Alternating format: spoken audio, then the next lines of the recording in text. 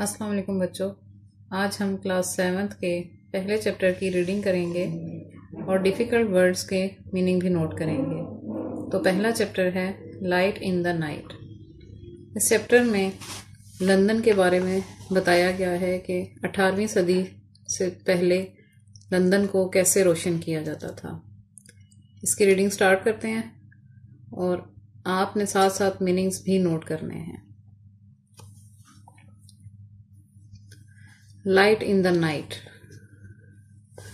रात में रोशनी। London is a major capital city. London एक अहम कैपिटल कैपिटल दारुल हुकूमत को कहा जाता है। एक अहम दारुल हुकूमती शहर है। At night it glows brightly at night रात के वक्त इट ग्लोज ब्राइटली ये चमकता है लाइक मोस्ट मॉडर्न सिटीज़ बहुत से जदीद शहरों की तरह। बिफोर द सेवनटीन्स अठारहवीं सदी से पहले London was much smaller London बहुत छोटा था. देन इट इज़ नाउ जितना अब है. ऑन क्लाउडलेस मूनलिट नाइट्स बेअबर, साफ़ मौसम में, चाँद, चांदनी रातों में पीपल वुड टेक एडवांटेज लोग फ़ायदा उठा, उठाते थे. ऑफ़ द मून लाइट चाँद की रोशनी का एंड गो आउट और जाते थे बाहर टू सोशलाइज मेल मिलाप के लिए। But night time in the city लेकिन शहर में रात का वक्त कुड बी डेंजरस खतरनाक हो सकता था। यू कुड ट्रिप आप ठोकर खा सकते थे फॉल गिर सकते थे एंड इंजर योर सेल्फ और अपने आप को जख्मी कर सकते थे। If you fell in the river अगर आप दरिया में गिर जाते यू कुड ड्रोन आप डूब भी सकते थे। यू कुड बी अटैक्ड आप पर हमला किया जा सकता था और रोब्ड और आपको लूटा जा सकता था by criminals who roam the streets उन मुजरमों के ज़रिए जो गली में आवारा गर्दी करते हैं। You could easily get lost और आप आसानी से गुम हो सकते थे।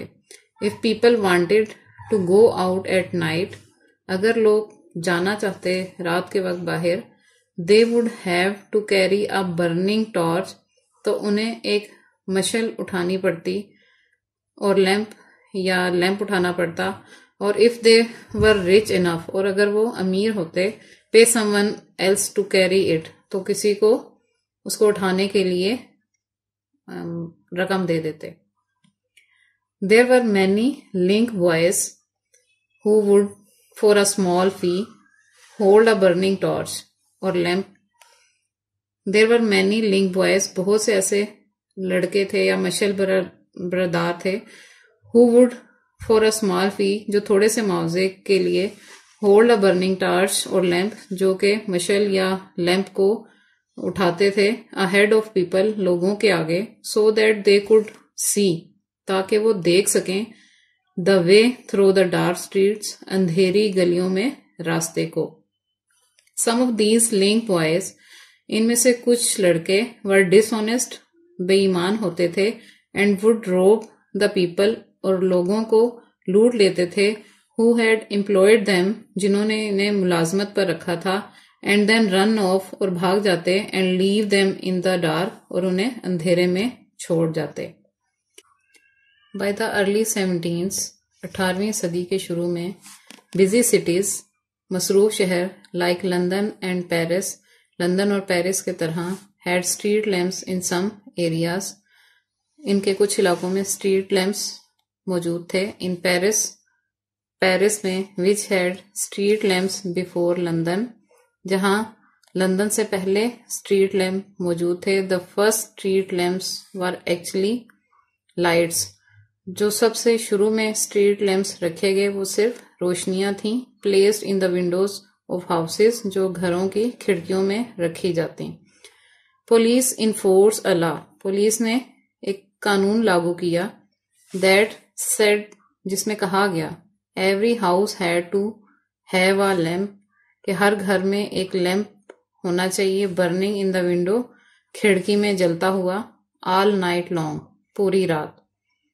If the lamp went out अगर वो लैम्प बुझ जाता people would have to get up तो लोगों को उठना पड़ता टू रीलाइट दोबारा जलाने के लिए और फेस बीइंग फाइंड या जुर्माना भरना पड़ता। Some people started to offer their services as lamp lighters कुछ लोगों ने लैम्प लाइटर्स के तौर पर अपनी खिदमात पेश की। इन रिटर्न फॉर पेमेंट मुआवजे के बदले में lamp lighters would put up a lamp lamp lighters lamp रख देते आउटसाइड द हाउस घर के बाहर एंड मेक श्योर और इस बात को यकीनी बनाते इट वॉज़ लेट कि ये जल रहा हो। The street lamps reassured people and made them feel safer street lamps ने लोगों का हौसला बढ़ाया और उन्हें ये एहसास दिलाया ज़्यादा महफूज होने का। द अथॉरिटीज रियलाइज़ हुकाम ने महसूस किया द बेनिफिट्स फायदों को दे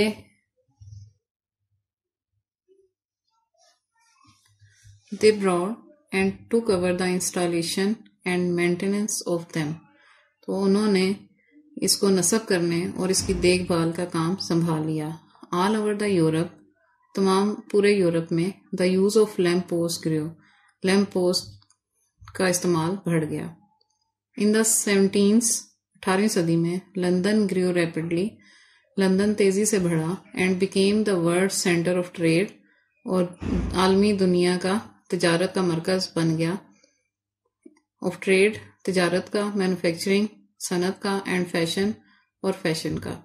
बिज़नेस बिकेम इम्पोर्टेंट कारोबार अहम हो गया एंड लाइट्स वर नीडेड और रोशनियों की ज़रूरत पड़ी to keep the city working शहर में काम करने and entertaining in the night और रात के वक्त तफरी फ्राहम तो आज हमने जितना लेसन पढ़ा है, उसके कुछ अहम मीनिंग्स नोट कर लें। मेजर अहम कैपिटल दारुल हकूमत। क्लाउडलेस बेअबर, साफ़ मौसम जब बादल ना हो। एडवांटेज फ़ायदा। क्रिमिनल्स मुजरिम अहेड आगे. सर्विसेज़ खिदमात रीशोर हौसला बढ़ाना. अथॉरिटीज़ हुकाम. इंस्टॉलेशन नसब करना, लगाना.